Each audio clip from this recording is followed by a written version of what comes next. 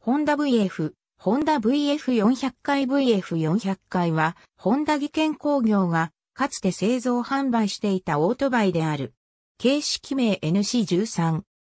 1979年のロードレース世界選手権用に開発された競技専用車 NR500 をモチーフとして開発、製造販売された VF シリーズの 400cc クラス普通自動二輪車である。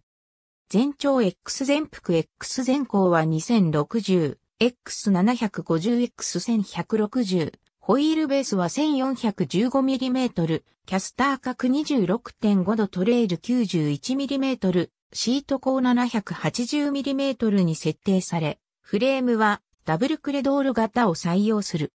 NC13E 型水冷4ストローク4、バルブ DOHC90 度、V 型4気筒エンジンを搭載する。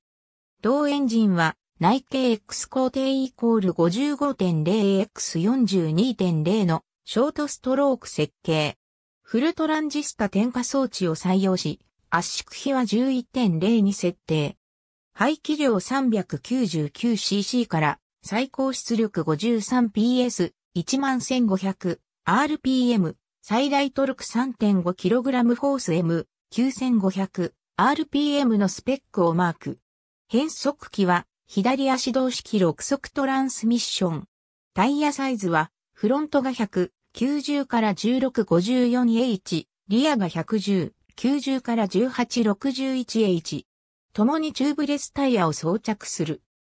サスペンションは、フロントがブレーキ時のブレーキトルク反力を利用して、フロントフォークの沈み込みを制御するブレーキトルクセンサー、型アンチダイブ機構を搭載するテレスコピック、リアが中空アルミキャスト製、プロリンク式スイングアームである。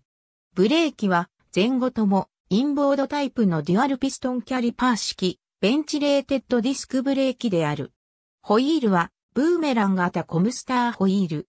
アルミニウム合金製ステップホルダージュラルミン製、鍛造セパレートハンドル、電気式タコメーターを採用するほか、ヘッドライトは角型 H4 ハロゲンランプを搭載する。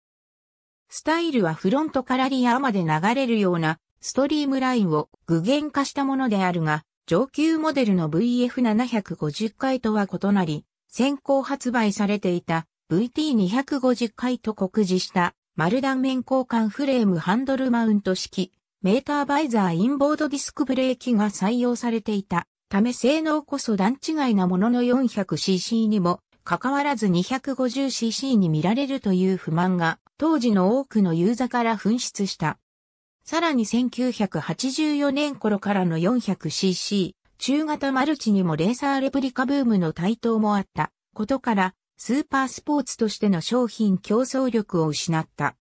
しかしポテンシャルは非常に素晴らしく、1984年及び1985年には鈴鹿4時間耐久レースにてプライベートチームが2年連続優勝を、はじめ市反射ベースのレースで数々の優勝を記録するなど基本性能の高さを証明している。NC13E 型エンジンは後継の VFR400 シリーズに形式名はそのままで改良を実施し、キャリーオーバーされた。ありがとうございます。